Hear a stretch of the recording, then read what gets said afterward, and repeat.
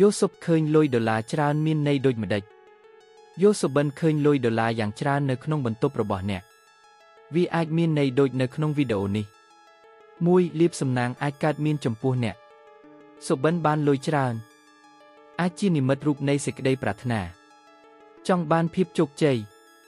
និងសុវត្ថិភាពហិរញ្ញវត្ថុវាអាចឆ្លុះបញ្ចាំងពីមហិច្ឆតារបស់អ្នកវាក៏ជាតម្រុយថាអ្នកអាចមានលៀបសំណាង 2. អ្នកកំពុងមានប្រាថ្នាធំលុយក្នុងសុបិនក៏អាចតំណាងឲ្យស្ថានភាពផ្លូវចិត្តរបស់អ្នកដែលកំពុងត្រូវការលុយរហូតដល់វាចូលក្នុងយោសុបិនរបស់អ្នកអ្នកចង់បានវាជាខ្លាំងដើម្បីបំពេញសេចក្តីត្រូវការរបស់អ្នក3លុយច្រើនតែតំណាងឲ្យអំណាចនិងឥទ្ធិពលយោសុបិនឃើញលុយក៏ជាសញ្ញានៃឥទ្ធិពលនិងអំណាចរបស់អ្នកផងដែរដូច្នេះវាជាសញ្ញាល្អសម្រាប់អ្នក 4 អ្នកអាចកំពុង stress ចង់បានលុយក្នុងស្ថានភាពសេដ្ឋកិច្ចបច្ចុប្បន្នមនុស្សមួយចំនួន stress ខ្លាំងរឿងលុយកាក់ដោយធ្វើឲ្យវាចូលដល់ក្នុងសុបិនរបស់អ្នកស្ថានភាពនេះ ពេលខ្លះក៏ធ្វើឲ្យប៉ះពាល់ដល់ស្ថានភាពផ្លូវចិត្តដែរវាអាចលេចចេញជា stress ការថប់បារម្ភនិងការបាក់ទឹកចិត្តសុបិនទាំង3តាក់ទងនឹងលុយកាត់ឲ្យឃើញថាអ្នកចិត្តមានលៀបហើយសុបិនដែលមានពាក់ព័ន្ធនឹងលុយកាក់